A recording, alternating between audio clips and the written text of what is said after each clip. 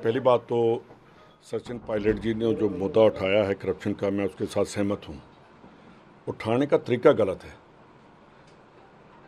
राजस्थान में जब विधानसभा का सेशन चल रहा था, उस टाइम हाउस में गवर्नर एड्रेस पर इनको बोलना चाहिए था कि जी क्या केसेस जो हैं, उनका आप क्या कर रहे हैं?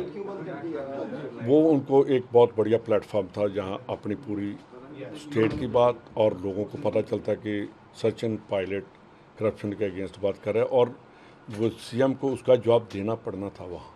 कि जो आप बोलते हैं विधानसभा में, उसके लिए वो उनको बाउंड होना पड़ता है कि उसके ऊपर क्या बोलेंगे वो भी छोड़ दिया।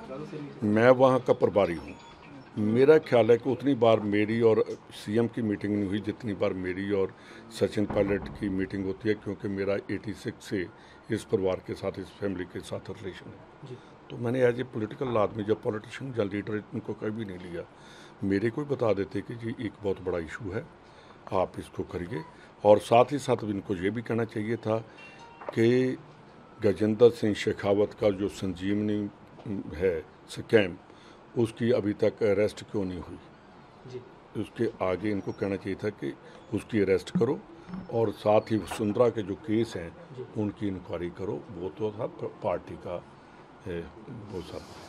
दूसरी बात जो हाँ मैंने कहा कि ये एंटी पार्टी है। जो मैंने पहले दिन इनकी इंटरव्यू जो इन्होंने प्रेस कॉन्फ्रेंस की वहाँ मेरे को नहीं लगा कि ये प्रो पार्टी है। अब जो बातें मैंने कही हैं अगर वैसे बात की जाती तो मैं कहता कि ये प्रो पार्टी है। तो अब बात करेंगे आज भी मैं यहाँ हूँ आज भी आधा घंटा बात हुई है कल फिर करेंगे।